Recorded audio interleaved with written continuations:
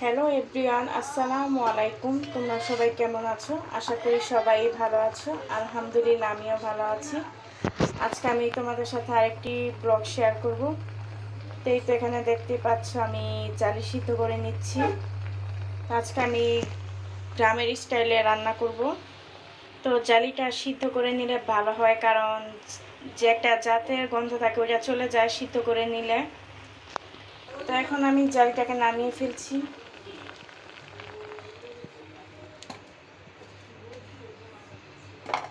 তো এখানে আমি কড়াই বসিয়েছি, এখন ইলিশ মাছটা ভেজে নিব। আমার তেলটা গরম হয়ে গিয়েছে, আমি এখন মাছগুলো দিয়ে দিব।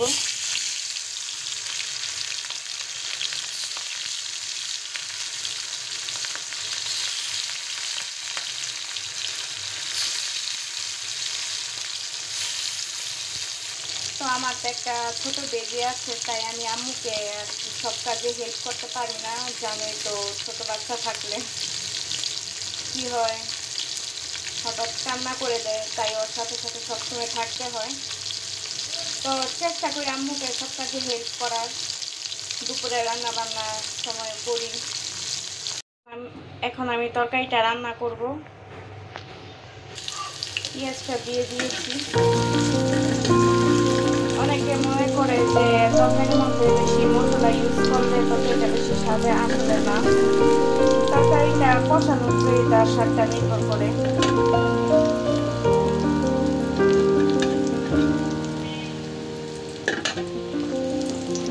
এখন লবণ দিয়ে দিলাম। দিয়ে দিলাম এখন আদা রসুনের পেস্ট।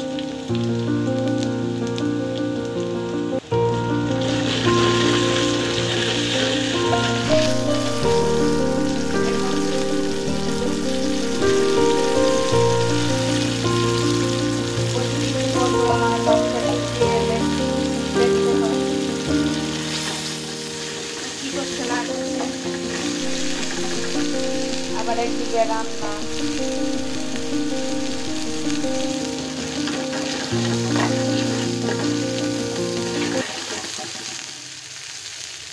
এখন দিয়ে দিব পানি, পরিমাণ মতো।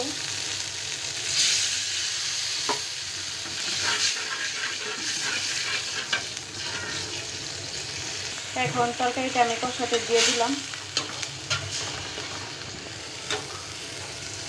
এখন এটাকে আমি ঢেকে দিব।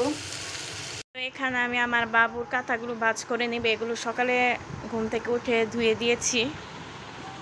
আমার কষানো হয়ে গিয়েছে, এখন আমি জল দিয়ে দিব পরিমাণ মতো।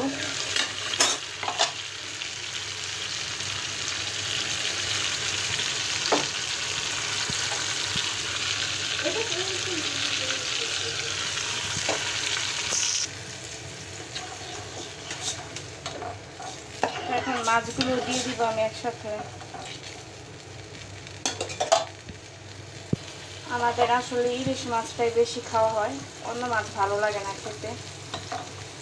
তাই আব্বু ইলিশ মাছটাই সবসময় নিয়ে আসে।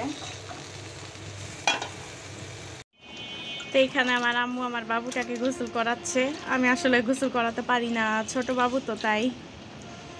চিন্তা করতেছি যে শ্বশুর বাসায় গেলে কীভাবে গোসল করাবো। এখানে আমি কড়াই বসিয়েছি তেল দিয়ে পুঁটি মাছগুলো ভাজার জন্য।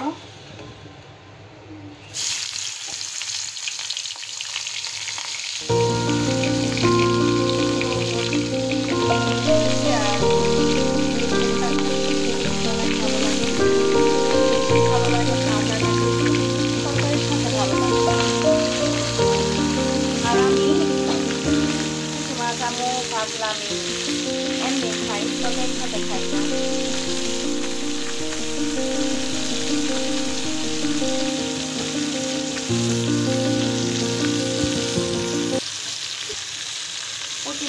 সাথে কাঁচামরিচ পেঁয়াজটা ভেজে খেয়ে দেখবেন অনেক মজা লাগে। আমরা এখন দুপুরে খাওয়ার জন্য চলে আসলাম। না, এই মাছ ভাজা দাও। পুঁটি মাছ ভাজা। তো আমার ভাই আবার গোসল করতে গেছে, ওর আবার গোসল করে আসতে লেট হয়ে যাবে।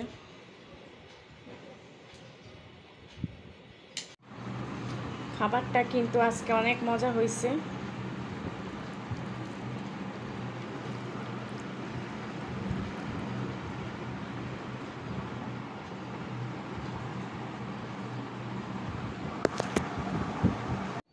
তো আম্মু বিকেলবেলা সেমাই রান্না করবে, তার জন্য ফ্রিজ থেকে দুধের প্যাকেটটা আর নারিকেলটা নামিয়ে নিব। তো প্রতিদিন এই বিকালে কিছু না কিছু করা হয়।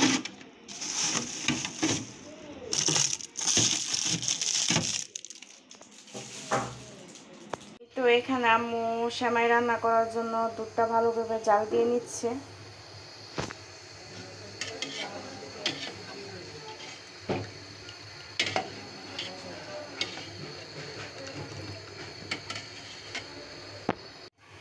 এখন এখানে স্বাদ অনুযায়ী চিনি দিয়ে দিবে।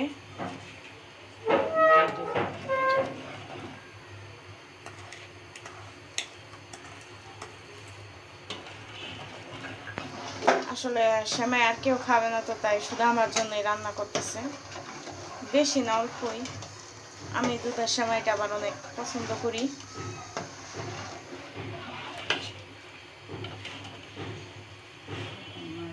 এখন নারকেলটা দিয়ে দিল।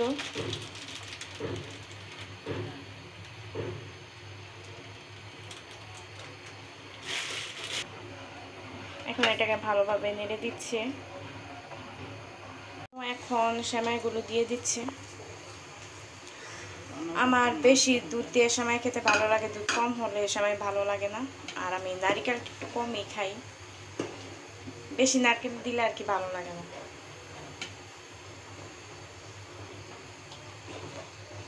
তো আর আমার সেমাইয়ের মধ্যে বেশি মশলা দিলে ভালো লাগে না আমি মশলাটা কমই খাই। এই তো সেমাই রান্নাটা হয়ে গিয়েছে এখন আমি খাব। তো আজকে আমার ব্লগটা এই পর্যন্তই।